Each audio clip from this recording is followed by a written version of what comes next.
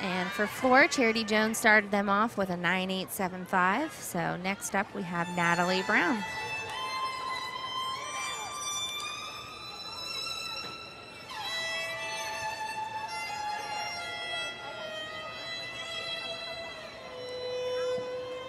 I was watching this routine in warm-ups. Beautiful. She definitely has the dancer-like Yes. moves. Tumbling to follow. Front handspring double full.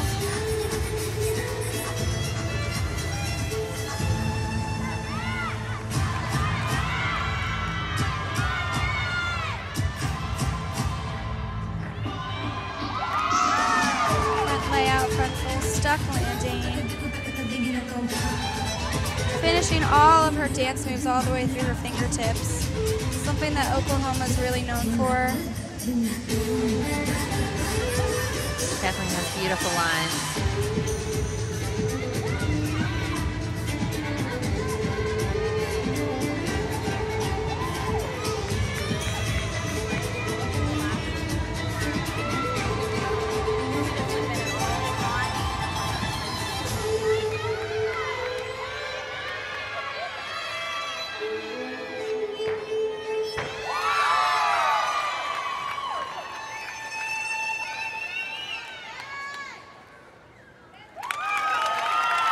Excellent finish for Natalie Brown there.